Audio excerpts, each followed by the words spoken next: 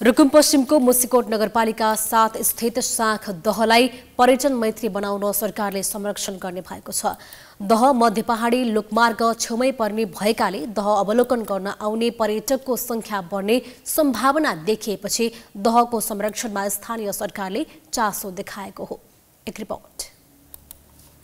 रुकुम पश्चिमको मुसिकोट नगरपालिका साथ साख गाउँमा अवस्थित साख दहलाई स्थानीय सरकारले संरक्षण गर्ने भएको छ। दह मध्य पहाडी लोकमार्ग छेउमै पर्ने भएकाले दह अवलोकन गर्न आउने पर्यटकको संख्यामा वृद्धि हुन सक्ने भन्दै स्थानीय सरकारले संरक्षण गर्ने जनाएको छ। दहलाई पर्यटन मैत्री बनाउन दह छेउमै पशु चौपाया प्रवेश निषेध सहितको पार्क निर्माण गर्न लागि छ जसका लागि सशस्त्र अनुदानबाट पचहत्तर लाख रुपियाँ विनियोजन गरिएको वडा कार्यालयले जनाएको छ। मुख्यत चाहिँ यो साग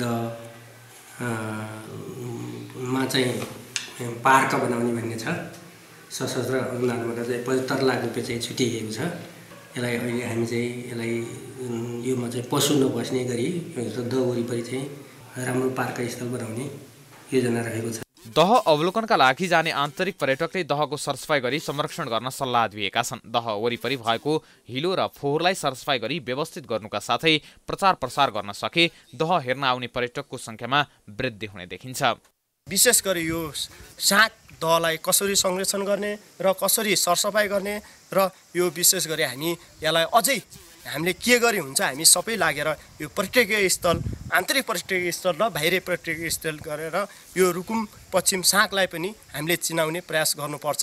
साँक दह अवलोकनसँगै वडा नम्बर सातमा अवस्थित पर्यटकीय स्थल रेन दह ऐतिहासिक ठुली दह जस्ता मनै लोभ्याउने पर्यटकीय स्थल अवलोकन गर्न समेत पाइन्छ।